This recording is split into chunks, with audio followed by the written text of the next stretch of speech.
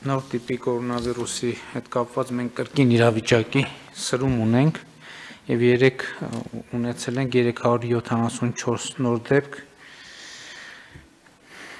3913 հետազոտությունից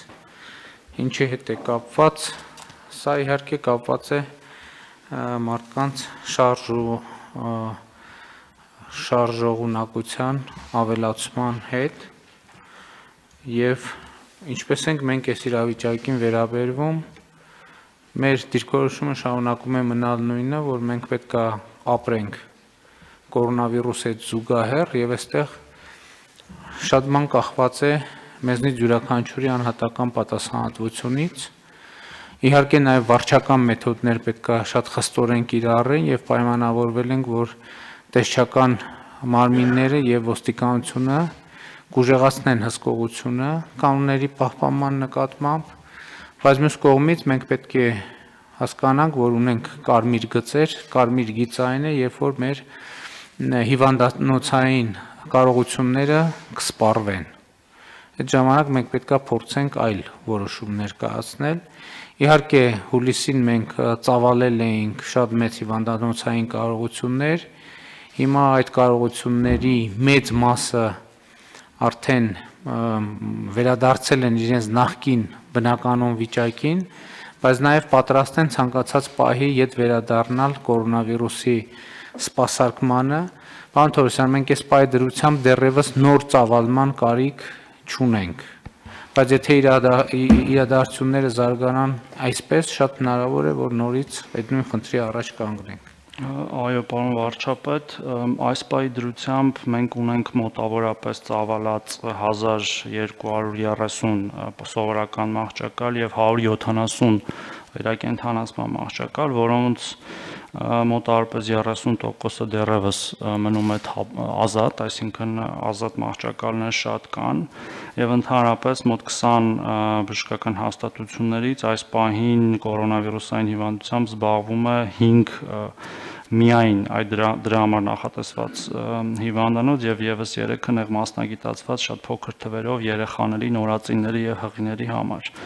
սակայն ինչպես դուք նշեցիք, այո, եւ ի սկզբանե էր այդպես պլանավորված, ցանկացած պահի կամ 1-2 օրվա մեջ, երբ որ իրավիճակը կրկին ակտրուկ սրվի, մենք կարող ենք ամբողջ ռեսուրսը, որը ուզում եմ հիշեցնել, մոտավորապես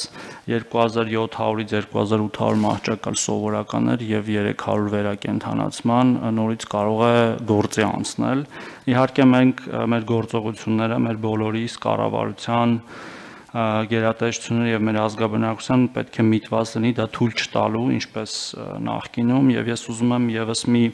թետակրքիր կամ ոչ հետաքրքիր, բայց փաստ հնչեցնել։ Մի հիշում եք, մենք ասում ենք, որ մեր մոտ ամենաբարձր թիվը այդ պահին եղած հիվանդների հուլիսի 6-ի շրջաններում էր։ Հիմա փաստացի այնպես է ստացվել, որ ամենացածր թիվն էլ մեր մոտ եղել է սեպտեմբերի 11-ին, եւ սեպտեմբերի 11-ից մինչ օրս մենք աճում ենք արդեն։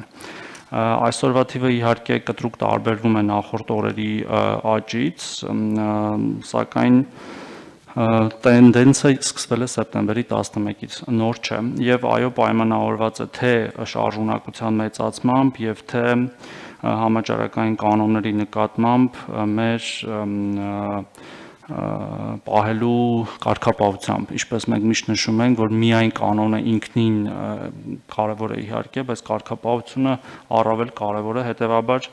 կորոնավիրուսային հիվանդության հետ ապրելու տրամաբանության եւ ռազմավարության շրջանակներում մենք պետք է շարունակենք կրել դիմակները այնտեղ որտեղ հնարավոր է, այսինքն գրեթե ամենուր բացառությամբ սնվելու, պահել սոցիալական հեռավորություն եւ հաճախ լվանալ ձեռքերը։ Ուզում եմ նաև հնչեցնել, որ իհարկե կան գործոններ, որոնք դժվար են մի քիչ կառավարվում, օրինակ նույն հասարակական տրանսպորտում խիտ երթևեկությունը, որը ուղիղ ռիսկի գործոն է տարածման դպրոցների բացումը, որը իհարկե մենք փորձել ենք հնարավորինս մեղմել նոր կանոններ դնելով, բայց անխուսափելիորեն կարող է բերել։ Մենք դեռ չենք պայմանավորում այս թվերը դպրոցներով, դեռևս, որտեղ դպրոցները բացվել են 10 օր առաջ, բայց եթե մոտակա 1 շաբաթվա մեջ կտրուկ սրանից էլ ավել աճել լինի, արդեն կապելու ենք դպրոցների հետ եւ խոսքը միայն դպրոցի ներսում եղած փոխանցման մասին չէ։ Դպրոցները ինքնին եւ ուսումնական հաստատությունները մեր բնակչության զանգվածային շարժունակություն ապահովող ամենամեծ գործոններից մեկն են աշխատանք եւ ուսում որը փաստացի չկար երկար ժամանակ եւ դա մենք ավելացրել ենք իհարկե գնահատելով ռիսկերը ու պետքա իրավիճակին հետևելով, այո, ինչպես նշեցիք, թույլ չտանք հասնել կարմիր գծերին, բայց անհրաժեշտության դեպքում համապատասխան որոշումներ կայացնենք։ Շատ լավ, ընդհանուր առմամբ ես շարունակում եմ ճիշտն ասած մնալ նույն տեսակետին, որ ըստ էության այս պատմության ավարտին բոլոր երկրներն էլ մոտավորապես նույն իրավիճակում են լինելու, պլյուս մինուս մի քիչ։ Իհարկե բացառությամբ այն երկրների, ովքեր այնքան ռեսուրս կունենան, որ միջև պատվաստանյութի պատվաստանյութի ստեղծումը կունենան խիստ սահմանափակումներ պահելու ռեսուրս։ Եվ զարգացումները դա են ցույց տալիս ըստ էության Եվրոպայում երկրորդ բայց շատ ավելի մեծ ալիք է սկսել, այդ շատ կարևոր հանգամանք է եւ եւ կա եւս մի գործում, որ ես չեմ կարող չնշեմ, Հայաստանի կառավարությունը կորոնավիրուսի հետ կապված 100%-անոց թափանցիկ է, 100%-անոց, այսինքն մենք որևէ թիվ այս ընթացքում չենք փոխել, որևէ թիվ ընդհանրապես։ Այսինքն ինչ որ գիտենք մենք, գիտի Հայաստանի Հանրությունը եւ ամբողջ աշխարհը այն տարբերությամբ, որ մենք կարող ենք մի քանի ժամ ավելի շուտ գիտենք, քան թե մյուսները։